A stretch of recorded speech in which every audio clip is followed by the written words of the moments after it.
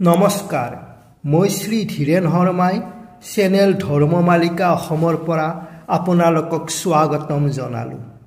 আজিৰ ভিডিঅ'ত মই শাওণ মাহৰ সোমবাৰৰ শিৱ পূজাৰ মাহাত্মৰ বিষয়ে আলোচনা কৰিম।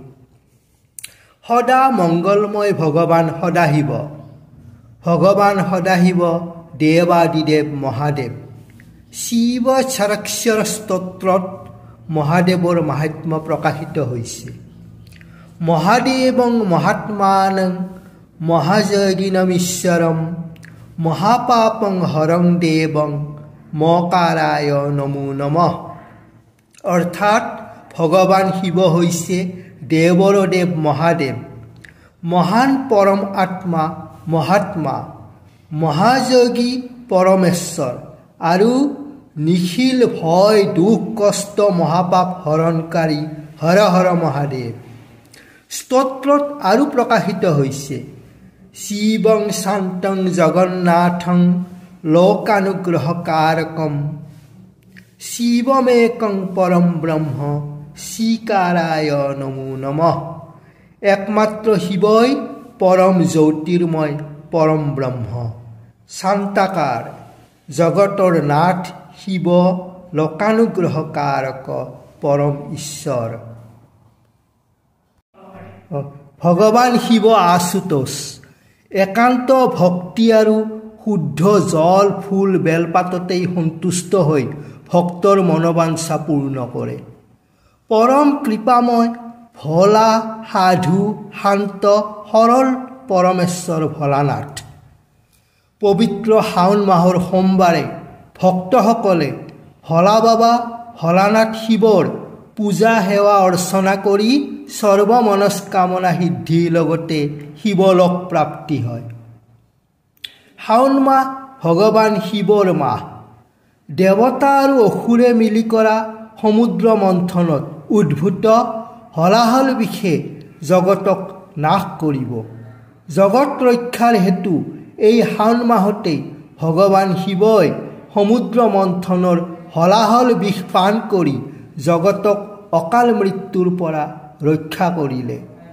হলাহল বিষ পান কৰিও মৃত্যুক জয় কৰা মৃত্যুঞ্জয় শিৱ। বিষৰ প্ৰকোপত শিৱৰ গলদেশ নীলবৰ্ণ হৈ পৰিল আৰু তেৱেই নীলকণ্ঠ। নীলকণ্ঠৰ বিষৰ তাপ নিবাৰণ কৰিবলৈ দেৱৰাজ ইন্দ্ৰই শাওণ মাহৰ প্ৰচুৰ বৰষুণৰে মৃত্যুঞ্জয় নীলকণ্ঠ শিৱৰ বিষৰ উত্তাপ নিবাৰণ কৰিবলৈ ধৰিলে। মৃত্যুঞ্জয় নীলকণ্ঠ শিৱক ত্ৰিলোকে পূজা বন্দনা কৰিলে। এই শাওণ মাহত মৃত্যুঞ্জয় শিৱক জল দুগ্ধ বেলপাত আদিৰে একান্ত ভক্তিভাৱে পূজা কৰিলে। অকাল মৃত্যুহৰণ গ্ৰহদোষ নিবাৰণ সৰ্বমৰণ কামনা পূৰণ হয়। সোমবাৰ ভগৱান শিৱৰ প্ৰিয়। সোম মানে চন্দ্ৰ ভগৱান শিৱ সোমনাথ। ওম মহাদেৱায় সমমূৰ্তয়ে নম।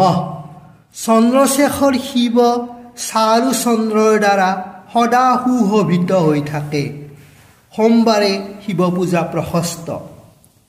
শাওণ মাহ পুণ্য পবিত্ৰ মাহ। আদ্যাশক্তি মহামায়া দেৱী দুৰ্গাই দক্ষনন্দিনী সতী। দক্ষযজ্ঞত সতীৰ দেহত্যাগৰ পিছত দেৱীয়ে পৰ্বতৰাজ হিমালয়ৰ কন্যা পাৰ্বতী ৰূপে জন্মগ্ৰহণ কৰে।